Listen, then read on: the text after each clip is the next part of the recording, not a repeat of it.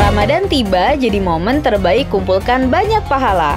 Salah satunya berbagi makanan berbuka bagi mereka yang berpuasa. Rasulullah Shallallahu Alaihi Wasallam bersabda, Siapa yang memberi makan orang berpuasa, maka baginya pahala seperti orang yang berpuasa tersebut, tanpa mengurangi pahala orang yang berpuasa itu sedikit pun. Nah, sahabat kasih Palestina, bagaimana jika kita berbagi makanan berbuka untuk saudara kita di Palestina? berbagi bagi keluarga Palestina di tengah blokade yang penuh keterbatasan, berbagi bagi anak-anak penghafal Quran yang senantiasa mengulang hafalannya, serta berbagi bagi anak-anak yatim yang telah ditinggal orang tuanya.